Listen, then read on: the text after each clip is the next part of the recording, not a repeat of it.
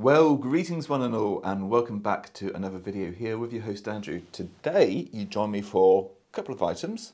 Firstly, we're going to be having a look at my Leonardo Officina Italiana Messenger in caramel.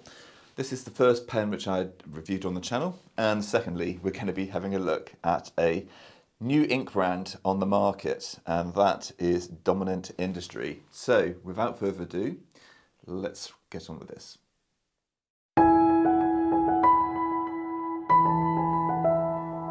Okay, ladies and gentlemen, so before we start on today's video, just got a little bit of a news item. Last year, during the height of the pandemic, uh, the Fountain Pens UK Facebook group organised 12 nights of Fountain Pens. And essentially what that was, it was celebrating the diverse range of creativity and the craftsmanship and the knowledge of the Fountain Pen community. And we ended up on a quiz at the end as well. And we had some prizes, and it was just absolutely fantastic. This year it's back again, and it's better and bigger than ever. So this year we've got um, people such as Ben Walsh from Gravitas Pens, who will be starting on the 10th of December, which will be the first chat. And then we've got Salvatore Matrone from Leonardo. Yes, he is a member on the Fountain Pens UK Facebook group and he will be giving a talk about his company, I believe. We've also got Lucas Street as well. We've got um, Edmund. Uh, I can't pronounce your last name. I do apologise, uh, but he will be talking about um, pen photography, which I'll be very, very interested in, as uh, photography is a, a major passion of mine. And we've got a whole slew of other people as well. Um, so if you're interested in going to check that out, I would invite you to join the UK Fountain Pen Facebook group and I'll provide a, a link to the group at the top and also in the description below. So do come along. there will be prizes and you will be joining an incredible community. So please do consider that. Okay, so now on to the content itself. Okay, ladies and gentlemen, so what we're going to be doing today is we're going to be having a look at the first pen which I reviewed on my YouTube channel and I thought it'd be quite fitting to have a look at a new brand um, at the same time. And this is Dominant Industry. They had been going for a little time um, in South Korea, and having spoken to them, they were looking to branch out into the West. So I did suggest a few places, uh, such as Pure Pens, Cult Pens, and some stationers in uh, the States, such as Yoseka. And generally speaking, the feedback on these inks has been absolutely fantastic. Now, if you do listen to uh, Brad from the Pen Addict on his fantastic podcast, um, he's given some absolutely wonderful praise to these inks, and quite rightly so. The colour ranges are absolutely fantastic, and I've really thoroughly enjoyed using these. The shimmering inks are just absolutely incredible, and we will be having a look at some of those inks down the line. I do have examples on my Instagram, so if you would like to go and check that out, I'll put a link at the top um, to the, I think it was the Dominant Industry uh, Sunset.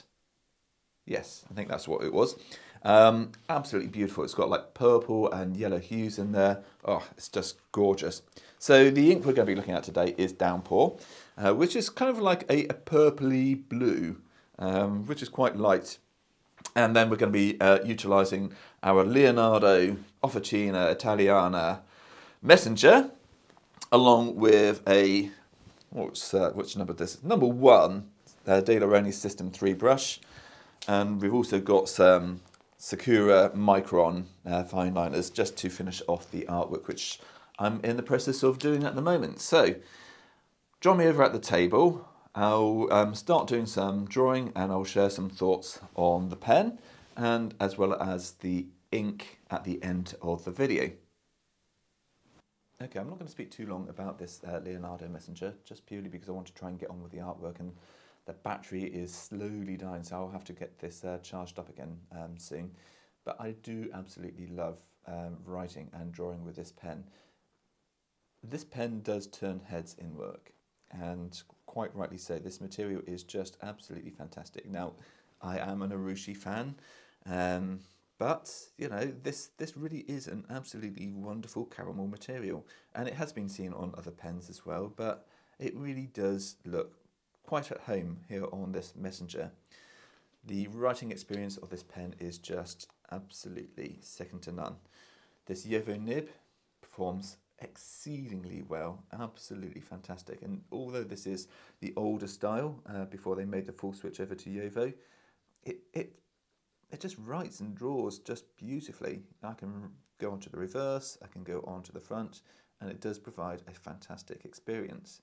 And certainly I think this is one of the most underrated pens, certainly in this price segment. And certainly, you know, if you're looking to make a step up in your fountain pen collection journey, this is definitely a place you might want to consider. Okay, so now on to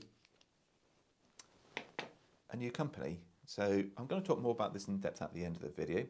Um, not too much depth because as I say, I'm not a scientific person, but this one is the Downpour ink from Dominant Industries. They're based in South Korea and they really are just absolutely beautiful inks. Uh, I will provide, as I say, um, a link to my Instagram. And I've got a few other examples on there, so do go and check that out. But uh, that really leaves it for now, uh, other than to say, please sit back, um, watch and enjoy.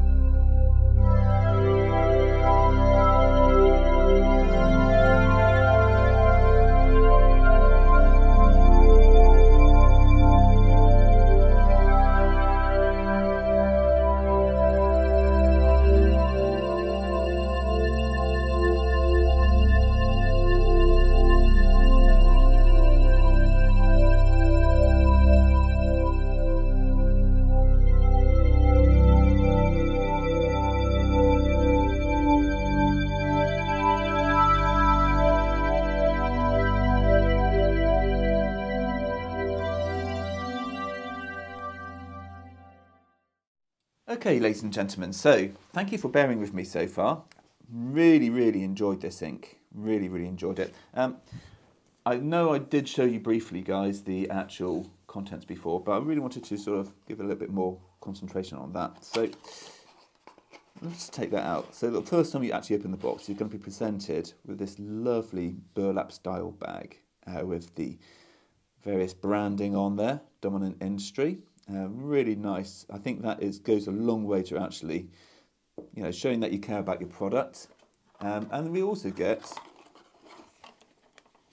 nope, we get a pipette as well, uh, which is something really unusual. You don't normally get any sort of ink filling mechanisms with your ink. But yeah, if you do want to eyedrop a pen, you get given a pipette. And I think that's just a, such a wonderful little afterthought. And it's those little afterthoughts which I feel goes such a long way for actually enticing you in to buy a ink. Now, obviously, it is a little bit of a gimmick, but it's a gimmick which works. And I have to say that I'm really impressed with everything about this ink.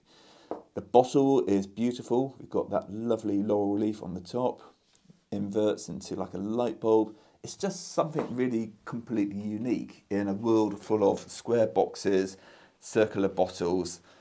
It's just nice to see something a little bit different on the market. Now, Dominant Industry have a tremendous amount of range of inks and I will be talking a bit more about those in future videos um, but one which I really want to try is one which uh, reacts with UV light uh, so yeah do look out for that it's um, called Perdo and I will be doing that um, sometime in the early part of next year um, or maybe sooner depending on when I get a UV lamp anyway really happy with how this um, turned out and I really loved actually pairing it with this KWZ calligraphy ink. The copper effect on here when it hits the light is just absolutely fantastic. So yeah, that was definitely a worthwhile uh, purchase, that uh, KWZ ink, and certainly something which I'll be experimenting with more in the future. I did contemplate with going with a, like a yellow gold, uh, but I wanted to go for something a little bit different. Um, copper isn't something which is often used for sort of decorating borders, so I thought that might be something a little bit different. And I have to say I'm really happy with the results. Anyway, that does leave it for today's video. I hope you enjoyed today's content. Next week, I may have a Gravitas pen on uh, in for review. But if I don't, I will be certainly doing some more ink explorations and possibly another one from Cult Pens or from Dominant Industries. I haven't quite decided yet. Maybe you can help me decide, so do leave those suggestions in the comment section below. Anyway, that really does leave it for today. Thank you for watching and I shall see you next time. Till then, stay safe and goodbye for now.